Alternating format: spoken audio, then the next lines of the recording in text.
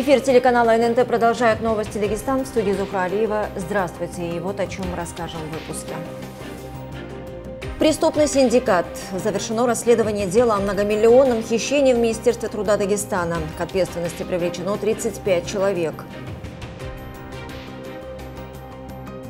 Эстетично, свежо и комфортно. Около 100 многоквартирных домов отремонтируют в этом году в Дагестане. Мошенники не дремлют, а напротив, они придумывают все новые и новые способы обмана по сотовой связи или в соцсетях.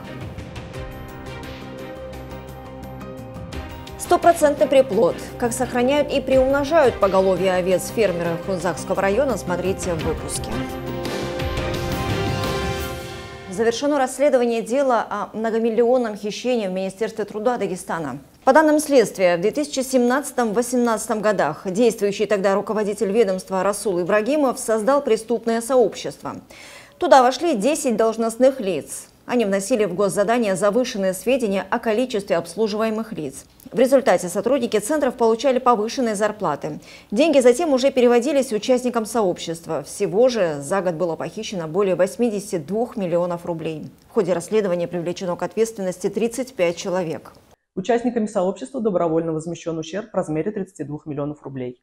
В настоящее время предварительное следствие окончено. Уголовное дело направлено прокурору для утверждения обвинительного заключения. Около 100 многоквартирных домов отремонтируют в 2024 году в Дагестане. На эти цели предусмотрено порядка 700 миллионов рублей. Об этом рассказал журналистам руководитель регионального фонда капитального ремонта Магомед Алиев на пресс-конференции. Это улучшит качество жизни чуть более 12 тысяч жителей республики. Объекты расположены во всех 10 городах Дагестана и еще два в поселке Дубки Казбековского района. Многие обращаются к фонду, мол, вот наш дом включали не включали. Это все вопросы, это все вопросы органов муниципального образования. Сперва принимают муниципалитеты, от главы администрации. Они должны исходить, исходить самый главный критерий, в каком году был построен каком состоянии находится дом. Был проведен капитальный ремонт когда-либо хоть по одному какому-то виду работы каждом муниципальном образовании есть комиссия. В прошлом же году фонд капитально отремонтировал более 150 многоэтажек. Большая работа проведена в Буйнакске. Там за счет господдержки из республиканского бюджета восстановили 23 крыши в рамках чрезвычайной ситуации из-за ливневых дождей. Правоохранительные органы республики регулярно сталкиваются с фактами мошеннических действий, когда преступники завладевают э, деньгами граждан с использованием средств сотовой связи. Злоумышленники оперативно придумывают все новые и новые схемы обмана, а люди доверчиво сами переводят деньги аферистам и раскрывают свои данные. Как же не стать жертвой телефонных мошенников в сюжете Тамары Самедовой? Ей слово. Горький опыт. Вот что должно останавливать людей. Каждый третий в нашей республике сталкивается с различными видами мошенничества, как в соцсетях, так и в жизни. Зачастую не каждый может это определить, и поэтому для них все заканчивается плачевно. Вот и на днях стало известно о новом виде мошенничества. Псевдоразработчики умудрились создать липовое приложение Сбербанк, которое можно легко скачать в App Store. Установка его приводила к потере данных. Установка фейкового приложения э, предполагает не только ввод персональных данных, но и ввод данных вашей карты. Таким образом, вы собственноручно передаете мошенникам все данные, благодаря чему мошенники могут как сразу украсть все ваши средства, так и тратить эти деньги на протяжении длительного периода так, чтобы пользователь не сразу это заметил. Сбербанк рекомендует устанавливать программы только на официальных сайтах организации и в офисах. Эксперты отмечают, следует избегать тех приложений, которые запрещены на территории России. С вероятностью в 99% это будет поддельная программа. Фейковые приложения – это лишь один метод мошенников для получения доступа к вашим данным, а их бесчисленное множество. Так теперь взламывается аккаунты в мессенджеры WhatsApp и рассылается сообщение телефонным контактам от имени владельца с просьбой одолжить денег. На эту схему повелась и 20-летняя Халимат, которая перевела неизвестным 15 тысяч тысяч рублей. Мне написала моя знакомая с просьбой одолжить ей 15 тысяч рублей. И потом она мне следом отправила, что по номеру телефона типа не нужно, а достаточно перейти по ссылке. Мне на счету как раз было 100 тысяч рублей. И я копила свою стипендию на ремонт комнаты, и ничего не подозревая, я перешла по той ссылке и э, попыталась совершить операцию. В этот момент снялись не только 15 тысяч, а практически все мои деньги. Таких историй в нашей республике не один десяток. Сложность лишь в том, что вычислить телефонных мошенников практически невозможно, и возврат денег никто не может гарантировать. И порой даже сотрудники банка не в силах уследить за новыми ухищрениями злоумышленников. Но на все методы аферистов есть одно беспроигрышное действие – игнор.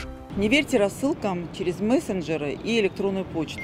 Очень часто э, подобные сообщения содержат э, гиперссылку, переходя по которой пользователь попадает на фальшивый сайт, внешне полностью копирующий подлинный, или активирует вирусы, э, которые воруют пароли к банковским картам. Никому не сообщайте свои персональные личные данные и реквизиты карты, CVC-код, CVV-код на обратной стороне карты, э, пароли из смс-сообщений и пин-коды. Не следует перезванивать э, и направлять сообщения на незнакомые номера.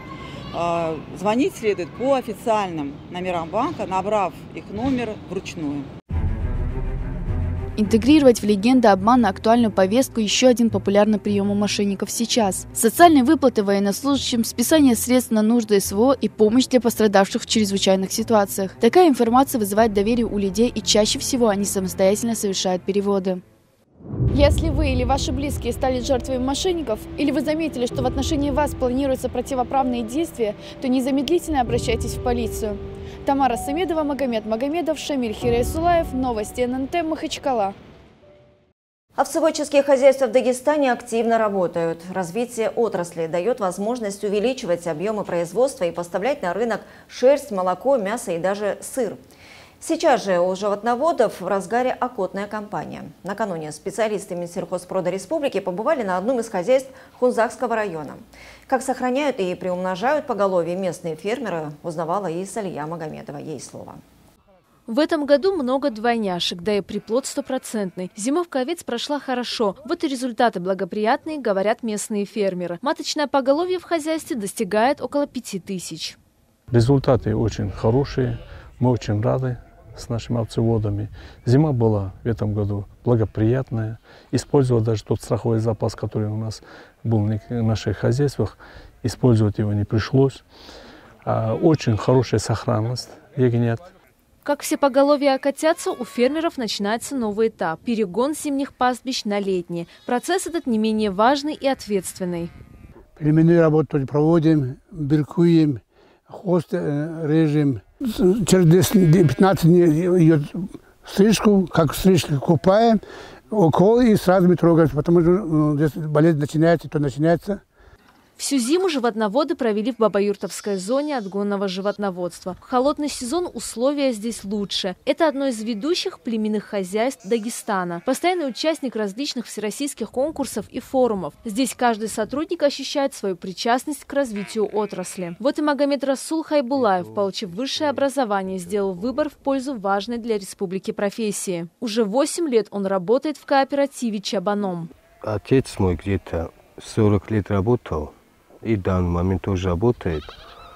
Один день приехал сюда помочь им. И с тех пор вот как-то получилось, так и работаю здесь. Ну, спокойствие есть, если честно, вот смотря на животных, на это окружающую среду, природа, все это, как-то спокойствие на душе тоже. В целом в республике окотная кампания проходит успешно, говорят специалисты. Предварительные результаты хорошие, сохранность ягнят высокая. Салия Магомедова, Магомед Магомедов, Мурат Бекбарзов, Новости ННТ, Хунзахский район. Херсонской области жители, которые находятся за чертой бедности, получили продуктовые наборы от фонда «Инсан». Волонтеры благотворительной организации на местах закупили и доставили продовольственные товары старикам, инвалидам, малоимущим и многодетным семьям. Также жителям были розданы выпуски газеты «Ассалам». В Херсонской области и в других районах освобожденных территорий проживает огромное количество малоимущих. Благотворительный фонд «Инсан» оказывает им всяческую помощь и поддержку.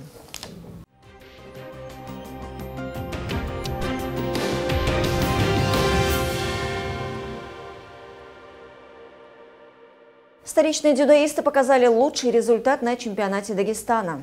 Турнир прошел в Махачкале. На татаме в спорткомплексе при стадионе «Труд» вышли около 130 спортсменов. Они вели борьбу не только за награды первенства, но и разыгрывали путевки на окружные соревнования, которые пройдут в мае в Грозном. По итогам турнира на счету хозяев татами оказалось 6 золотых наград из 6 возможных.